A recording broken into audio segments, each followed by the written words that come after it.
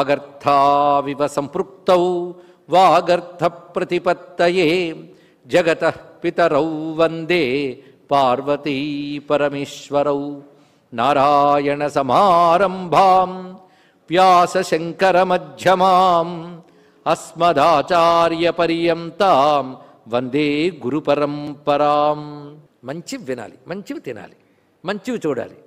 చెడ్డవి చూస్తే బాధ అంటే మొత్తం మొత్తం ఐదే. శబ్ద స్పర్శ రూప రస గంధ. అవి పొందడానికి పనికొచ్చి ఐదు ఇంద్రియాలు. త్వక్ చక్షు శ్రోత్ర జిహ్వ ఆఘ్రాణములు. ఈ ఐదే కదా ప్రతివాడు కోరుకునేది. ఐదింటితోనే నడుస్తుంది మన బ్రతుకు లేదా?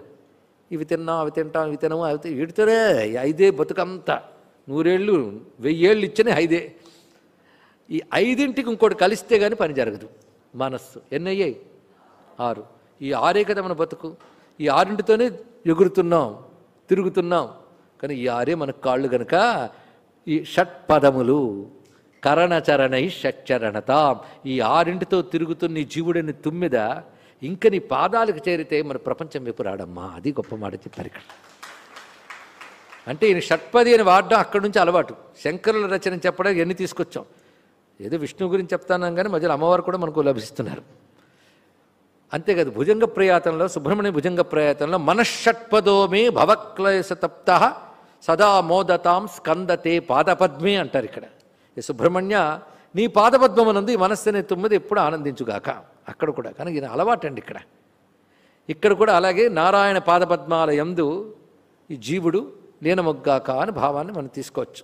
అయితే ఏడు ఎందుకు రాయాలండి? ఏడు రాసి సప్తపది అనొచ్చగా ఇంకా వినడానికి బాగుంది కూడా. షట్పది అని పేరు పెట్టి ఏడెందుకు రాశారు అంటే ఇందులో ఉన్న రహస్యాన్ని బయటకు తీయాలి. ఏడో శ్లోకం చెప్పుకున్నాక చెప్దాం. నారాయణ కరుణామయ శరణం కరవాణి తావకౌ చరణౌ.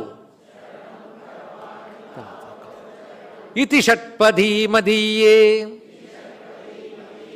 వదన సరోజే. సదా వసతు. అంటే ఆరు శ్లోకాలు చెప్పాం. నీతో విన్నవించుకున్నాను. ఆరు శ్లోకాలు మర్చిపోయిన పర్వాలేదు కానీ ఈ శ్లోకంలో నేను ఆరు చెప్పానయ్యా. ఆ ఆరు ఎప్పుడు గుర్తుంటే చాలు ఆరు ఎప్పుడు తిరుగుతుంటే చాలు. ఈ ఆరు గుర్తుపెట్టుకోండి. ఆరు పదాలు ఉన్నాయి ఆరు పదాలే షట్పది. ఆరు పదాలు ఉండి చూడు? నారాయణ కరుణామయ శరణం కరవాణి తావకౌ చరణౌ. ఎన్నయ్యే? ఎన్నయ్యే? ఆరు. ఈ ఆరు పదాలు ఎల్లవేళలా నా నోట్లో ఉండాలి. ఇది ఆయన చెప్తున్నది వాక్యం ఇక్కడ. అందుకని ఇప్పుడు చెప్పిన ఆరు శ్లోకాలు ఎల్లవేళలా నా నోట్లో ఉండాలని కాదు ఇక్కడ. ఈ ఆరు పదాలు నా నోట్లో ఉండాలి. ఇంకేవి అక్కర్లేదన్నారు. చూడండి ఇది గుర్తు గుర్తుపెట్టుకోవాలండి అంటే లోకం మంచిది కాదు సంసారం మంచిది కాదు. మంచిది కాదు అంటే ఇక దాని గురించి ఆలోచిస్తున్నాను అర్థం. ఆలోచిస్తున్నామంటే సంసారం ఎక్కడున్నట్టు? నీలో ఉన్నట్టే. ఎందుకు వదిలే దాన్ని? సంసారం నుంచి బయటపెట్టు సంసారం నుంచి బయటపెట్టు. అన్నప్పుడు దేని నుంచి బయట పెట్టాలో ఆలోచిస్తున్నావు కానీ నీ ఆలోచన సంసారం ఉంది. అవునా లేదా? నీ ఆలోచన అలా సంసారంలో ఉండకూడదు. కంసారి పాదాల మీద ఉండాలి ఇక్కడ. అందుకే త్యాగయ్య అంటాడు సంసారులైతేనేమయ్యా సికి పింఛావతంసుడు ఎదుటనుండగా కంసారి పాదపద్మాలు ఎందు కంస అరి కంసారి. అంటే కృష్ణ పరమాత్మ. ఆయన ఉండాలి కానీ సంసారం ఉండాలి? కానీ సంసారం చాలా భయంకరమైందండి. నేను ఎవడు ఆలోచించమన్నాడు దాని గురించి? ఎందుకు దాన్ని ఆలోచిస్తావు? దేని నుంచి బయటపడాలో దాని గురించి ఆలోచించుకో. ఆలోచించకపోతే అదే పోతుంది. ఎందుకంటే వేదాంతం చెప్తోంది సంసారం మిథ్యా నీకు తెలియకపోవచ్చు. ఎలాగూ లేని దాని గురించి ఆలోచించడం ఎందుకయ్యా? వదిలేదాన్ని. ఆయన్నే పట్టుకో. పట్టుకో అంటే ఇలాగ పట్టుకో చాలు. ఇప్పుడు ఆరు పదాలు ఇప్పుడు వదలకు. మంత్రం ఇస్తున్నారు గురువుగారు. నారాయణ. అది అక్కడ మహామంత్రం ఇందులో నారాయణ. భగవన్ నామం నారాయణ నామం చూపిస్తున్నారు. అంతా చెప్పి ఎక్కడ తీసుకొచ్చేశారు. నారాయణ అంతే ఇక్కడ. సంబోధనలు రెండే ఈ ఆరు పదాల్లో. నారాయణ కరుణామయ. కరుణామయ్య ఎందుకన్నారంటే మమ్మల్ని దయ చూపించాలి కనుక నీ కరుణ కలవాడవు. మీరు ఎంతో దయాస్వరూపులండి అంటే అన్నాడు కదా ఆయననే దయ చూపిస్తారు. అవునా లేదండి ఇక్కడ? మీరు మహాదాత అండి. కొంచెం విరాళం ఇస్తారా? అంటే మహాదాత అన్నాడు కనుక విరాళం ఇవ్వాలి తప్పదు ఇక్కడ. అలా బిరుదు ఇచ్చేస్తే ముందు తర్వాత ఇస్తాడు వాడు. అవునా కదండి? అది బిరుదులు ఇచ్చేయాలి కొందరికి. ఇచ్చేస్తే పనులు జరుగుతాయి. అంటే మహాదాత అంటే తప్పకుండా విరాళం ఇస్తాడు. కరుణామయ్య అంటే తప్పకుండా దయ చూపిస్తాడు. అదే కరుణామయ్య అన్నారు. అదే ఆయన లేనిదనడం కాదండి. ఆయన అలగు కరుణాస్వరూపుడే ఈ సృష్టిని నిర్వహించడమే కరుణ. అడగకుండా ఎన్నిచ్చాడో అది తెలుసుకుంటే అడగడానికి నోరు రాదు మనకి. అడగకుండానే ఇంద్రియాలు ఇంద్రియాలకు ప్రపంచం ఇన్ని ఇచ్చాడు. కనుక ఏం అడుగుతానయ్యా? ఏం అడగకుండా నిన్ను ఆరాధిస్తూ కూర్చుంటాను అన్నారు ఇక్కడ. అని కరుణామయ నువ్వు దయాస్వరూపుడు. నారాయణ. ఎన్ని నామాలు ఇప్పుడు చెప్పినా చివరికి మిగిలిపోయిన నామం నారాయణ. అందుకే మీరు సన్యాసి ఎప్పుడు నారాయణ నారాయణ అంటాడు. మీరు దండం పెడితే ఆశీర్వచనాలు అనకూడదు. సన్యాసి ఆశీర్వచనం ఇచ్చేయండి సన్యాసి కాడు. సన్యాసి దగ్గరికి వెళ్ళి ఆశీర్వచనాలు అడగకూడదు. అది కూడా తెలుసుకోవాలి ఇక్కడ. సన్యాసి నారాయణ స్మృతి అంటారు. నారాయణ స్మృతి అంటారు. నారాయణ అంతే ఇక్కడ. ఎందుకంటే సన్యాస ధర్మంలో గురువు లేడు శిష్యులు లేడు. అడిగేవాళ్ళు లేడు ఇచ్చేవాళ్ళు లేడు. అందుకే అక్కడ పూజ నమస్కారం ఆశీర్వచనం ఏది ఉండదండి. అందుకే నా నమస్క్రియ. నమస్కారం లేదు నిరాశీహి నిర్నమస్క్రియా అని గోవింద భగత్వాలు వారు చెప్తారు ఇక్కడ. ఒకరిని ఆశీర్వదించడు ఒకరు నమస్కరించాడు అంతటా బ్రహ్మమైనప్పుడు ఎవరిని ఆశీర్వదిస్తాడు? అయితే ఆరూఢ స్థితికి వెళ్ళిపోయిన సన్యాసి ఎవరిని నమస్కరించాడు ఎవరిని ఆశీర్వదించాడు? కానీ సాధనలో ఉన్న సన్యాసి కూడా ప్రాక్టీస్ చేయాలి. అందుకు సన్యాసాశ్రమంకి వచ్చిన వాళ్ళు వాళ్ళంతటా బ్రహ్మముని చూడగలిగే స్థితి వచ్చినా రాకపోయినా అందుకోసం సన్యసించారు కనుక దానికి తగ్గట్టు ప్రవర్తించాలి ఇది తెలుసుకోవాలి. అదే సన్యాసి ఇప్పుడు నారాయణ నారాయణ అంటాడు ఇంకోటి అన్నాడు ఇక్కడ. నేను అనడమే కదయ్యా మీరందరూ కూడా ఈ నాలుగు అక్షరాలు ఇప్పుడు మరువద్దు. నారాయణ నారాయణ నారాయణ నారాయణ. అదే శంకరులే రచించారని ప్రసిద్ధిగా ఒకటి ఉంది. నారాయణ నారాయణ జయ గోవింద హరే. నారాయణ నారాయణ. అలా నాలుగు నామాలు అక్షరాలు ఎంత శక్తి ఉందో. వింటూ ఉంటేనే ఏదో తెలియదు తన్మయం ఉంది. శక్తివంతమైన నామం అండి. ప్రతి నామం ఆయన ఆ శబ్ద రూపంలో వచ్చేసాడు కనుక నామానికి అంత శక్తి ఉంది. అందుకే అర్థం తెలిసినా తెలియపోయినా ప్రేమతో అనండి చాలు ఇక్కడ. కొందరికి అర్థం తెలుసుకుని అనుభూతి రాదు ఎందుకంటే ప్రేమ లేదు. జ్ఞానం అనుభూతినివ్వదు ప్రేమ అనుభూతినిస్తుంది అయితే జ్ఞానం నీకు ప్రేమ కలిగించాలి. జాగ్రత్తగా వినవలసిన వాక్యం. జ్ఞానం నీకు ప్రేమ కలిగిస్తే ప్రేమ నీకు అనుభూతినిస్తుంది అందుకే ఇప్పుడు మనం భగవంతుడు జ్ఞానం తెలిసాక ఆ పేరు అన్నప్పుడు ప్రేమ కలగాలండి ఇక్కడ. నారాయణ. ఆహా. ఎంత కొంతమంది పూర్వపుణ్య విశేషం చేత పేరు అనగానే కన్నీళ్ళు వచ్చేస్తాయి వాళ్ళకి అదేంటో తెలియదు కృష్ణ అనగానే కన్నీళ్ళు వచ్చేస్తాయి ధన్యులు వాళ్ళు. కృష్ణ అనగానే ఏమిటి అంటే అని మనం ఎంత గింజుకుని అర్థం చెప్పినా కొందరు అనుభూతి అది ఏం చేస్తాం దానికి ఇక్కడ? అర్థం తెలిసాక ప్రేమ పెరిగిపోవాలండి. అర్థం ఎందుకు తెలుసుకోవాలంటే ప్రేమ పెరగడానికి. ఈ వాక్యం గుర్తుపెట్టుకుని తర్వాత ఆలోచించుకోండి. అర్థం ఎందుకు తెలియాలి? ప్రేమ పెరగడానికి. నారాయణ. అబ్బా! ఎంత బాగుందో అర్థం. నారాయణ అనే దానికి మళ్ళీ రెండు అర్థాలు ఉన్నాయి. ప్రతిదానికి రెండు మూడు అర్థాలు ఉంటాయి. అన్నీ బాగుంటాయి. సృష్టి అంతా ఏర్పడకముందు జలం మాత్రమే ఉంది. అంటే అర్థం సృష్టి లేదని. సృష్టి లేదు జలం మాత్రమే ఉంది. ఏమీ లేని దాని నుంచి ఏదో రాదు. అవునా లేదా? ఏమీ లేని దాని నుంచి ఏదైనా వస్తుందండి? ఉన్నదాని నుంచి వస్తుంది. మరి సృష్టి లేదు అంటే మళ్ళీ సృష్టి ఎలా వచ్చింది? అంటే చెట్టు లేదు అంటే రాకముందు విత్తనం రూపంలో బీజ రూపంలో ఉంది. కనుక ఈ సృష్టి అంతా ప్రకృతిలో లయమైపోయింది. జల రూపంలో ఉన్నది. ఆ ప్రకృతికి అధిష్టానం ఉన్నవాడెవడు ఎవరు? పరమాత్మ. అప్పుడు అంతా జలమేగా? జలమున్నప్పటికీ ఆయనకు ఆయనకి నాశనం లేదు. అన్ని లయం చేసుకుని తాను కూర్చున్నాడు. ఎందులో? జలంలో తేలాడుతూ కనబడ్డాడు. నారం అంటే జలం అయనం అంటే చోటు. నీటిని చోటుగా చేసుకుని కనబడ్డాడు కనుక నారాయణుడు అని అన్నారయ్యా అన్నాడు ఇక్కడ. అంతేనా? మరి సృష్టి వచ్చింది. జలం కాదు సృష్టి కనబడింది. అప్పుడు నారాయణ పేరు పోయిందా?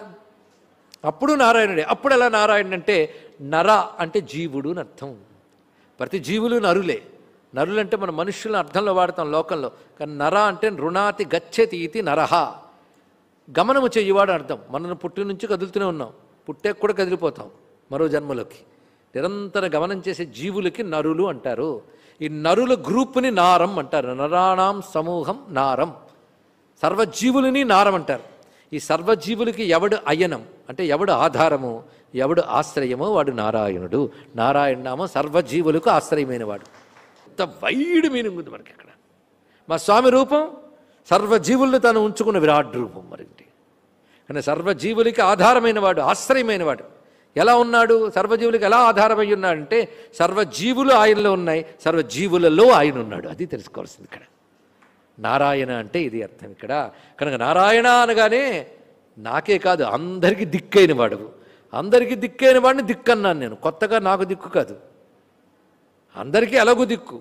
అందరికీ దిక్కైన వాడు నా దిక్కని తెలుసుకుంటే తెలివి. అది జ్ఞానం. అది నీకెవడరా బలం అని అడిగాడు రాక్షసుడు. నీకో బలం నాకో బలం లేదు నాన్న అందరికీ బలం ఒకడే అందరికీ దిక్కొకడే వాడే నారాయణుడు అని చెప్పాడు పిల్లవాడు. ఆ పిల్లవాడు పేరేమిటి? ప్రహ్లాదుడు. బలయుతులకు దుర్బలులకు బలమెవ్వడు? నీకు నాకు. బ్రహ్మాదులకు బలమెవ్వడు ప్రాణులకు బలమెవ్వండు. అట్టి విభుడు బలము సురేంద్ర అన్నాడు ఇక్కడ ప్రహ్లాదుడు క్లియర్గా చెప్పాడు కానీ హిరణ్యకశిపుడు క్లియర్గా వెళ్ళే అలా వినడం క్లియర్గా వినకపోవడం అలవాటు ఉన్న వాళ్ళు కూడా ఉంటుంటారు. ఏం చేస్తాం? అనేక లక్షణాలు దానికి కారణం. అహంకారం అనేది అడుగుంది అందుకే చెప్పిన మాట జాగ్రత్తగా వినలేదు. ఫిక్స్డ్ అభిప్రాయం వాడిది. ఇష్టం అనేవాడు లేడు.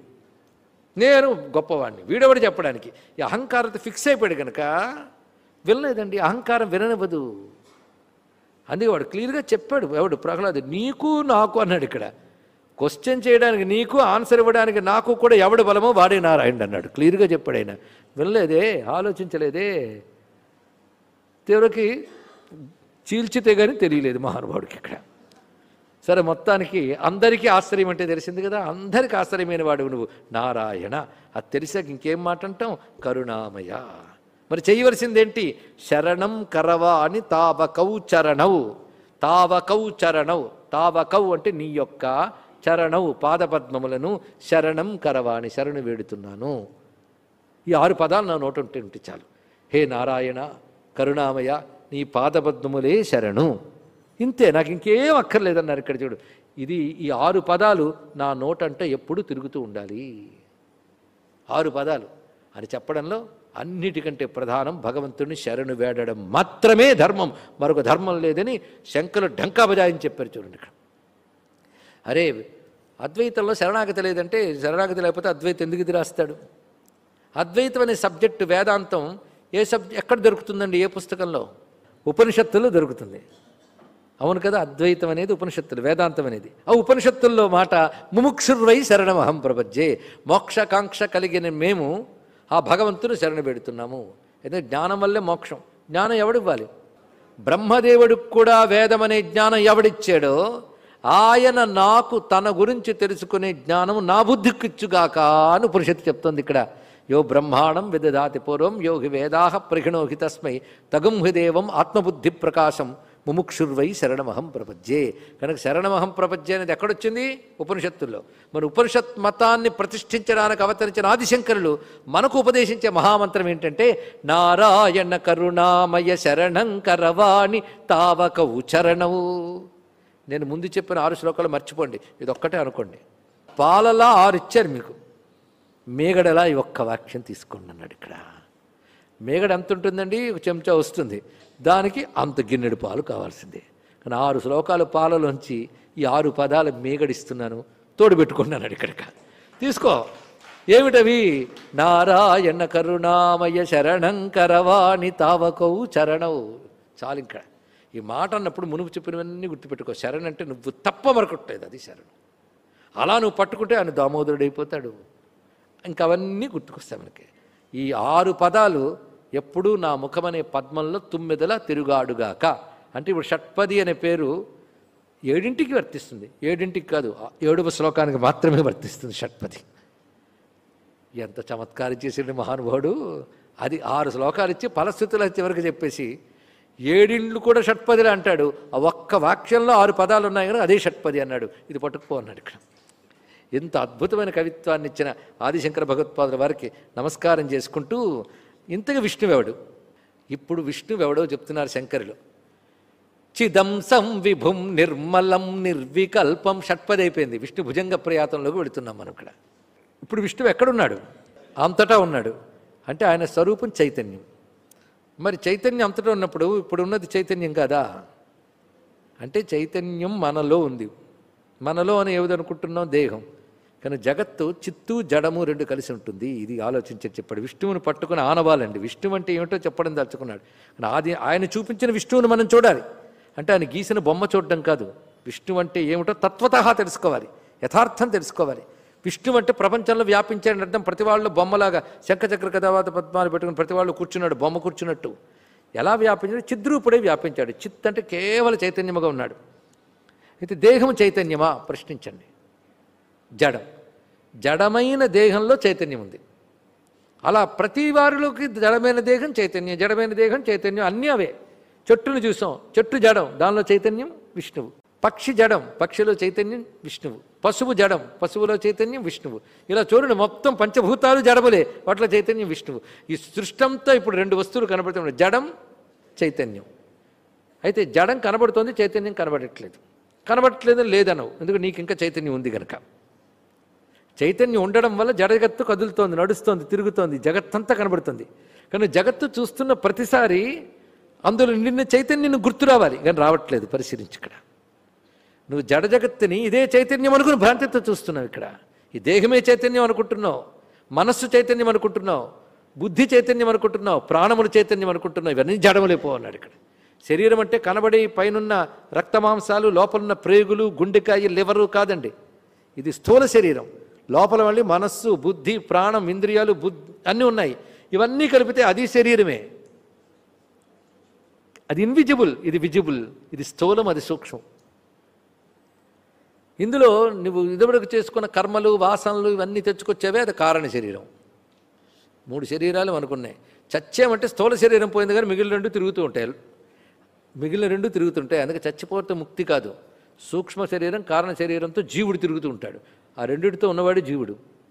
ఇది పోతుంది స్థూల శరీరం. అన్నంతో పెరిగే శరీరం అన్నమై పొద్దునుంచితే సాయంత్రానికి పోతుందే. అన్నంతో పెట్టిన శరీరం ఉంటుందా అన్నాడు మహానుభావుడు ఒకటి చూడండి. గొప్ప విషయం చెప్పాడు ఇక్కడ.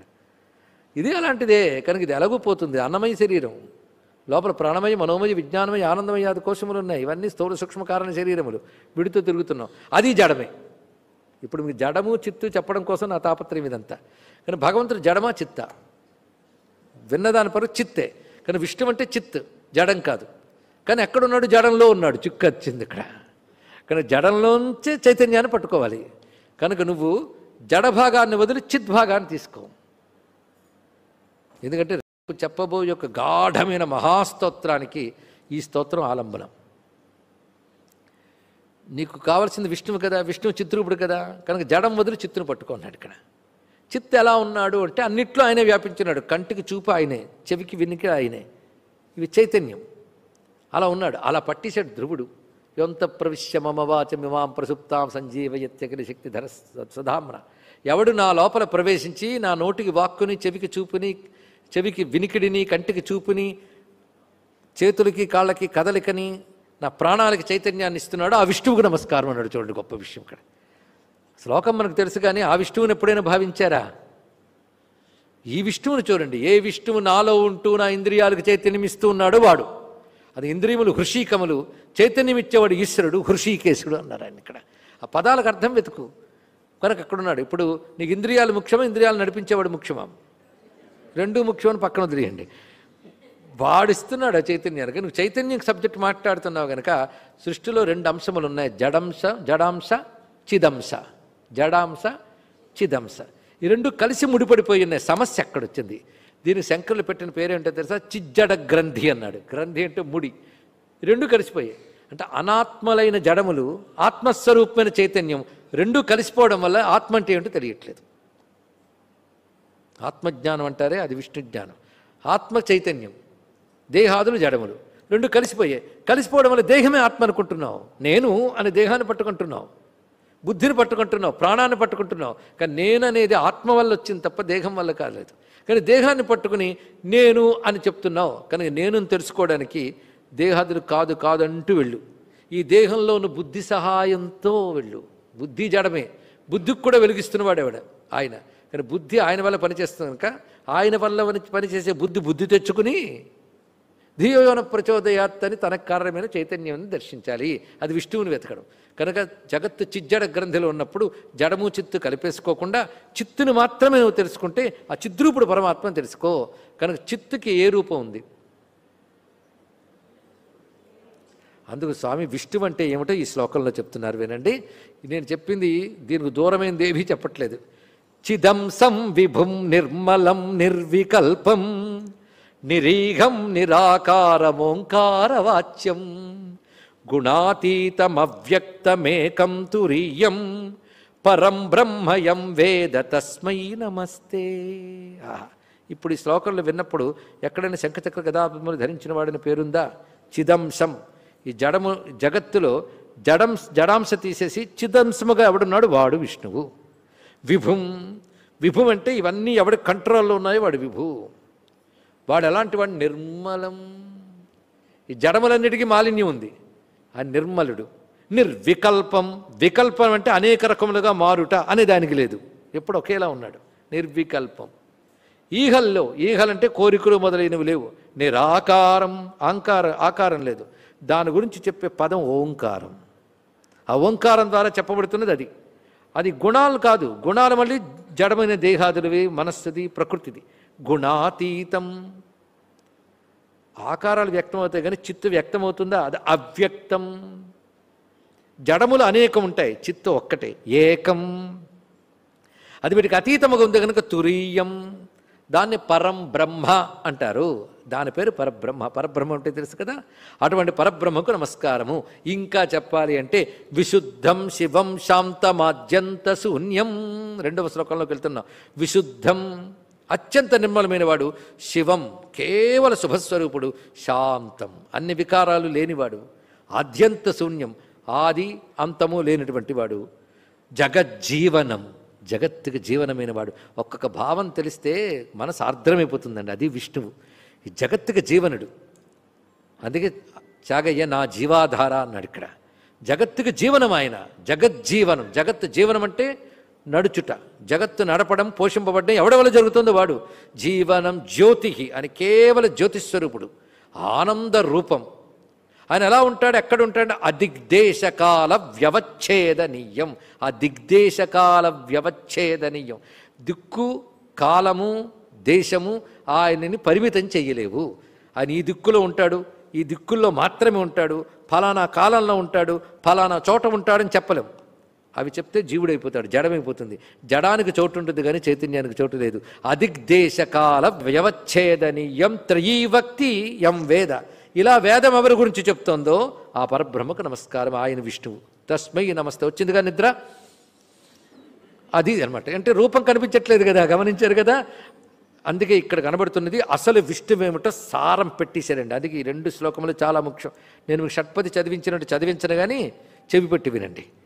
చిదంసం విభుం నిర్మలం నిర్వికల్పం నిరీఘం నిరాకారమోంకార వాచ్యం గుణాతీతమవ్యక్తమేకం తురీయం పరం బ్రహ్మయం వేద తస్మై నమస్తే విశుద్ధం శివం శాంతమాద్యంత శూన్యం జగజ్జీవనం జ్యోతిరానందరూపం అదిగ్దేశకాల త్రయీ భక్తియం వేద. తస్మై నమస్తే త్రయీ అంటే వేదం. వేదం చెప్తోంది ఇలా పరమాత్మ గురించి. ఇది పరమాత్మ. ఇక్కడ ఏం రూపం లేదు కదా. ఆయన రూపం చూపిస్తారండి తర్వాత శ్లోకంలో. ఎంతో అందంగా అద్భుతమైన పాదములతో రమ్యమైన వదనంతో ప్రకాశిస్తున్న రూపం కల విష్ణువుకు నమస్కారం అంటాడు ఇక్కడ. ఈ మొదటి రెండు శ్లోకాల్లో ఏ రూపం చెప్పలేదు. విష్ణు అంటే ఏంటి చెప్పాడు. ఇది తెలుసుకోవాలి ఇక్కడ. విష్ణు అంటే అది. ఇది తెలిస్తే ఇది ఎప్పుడు ఏకమే దానికి ఏ ఆకారం లేదు.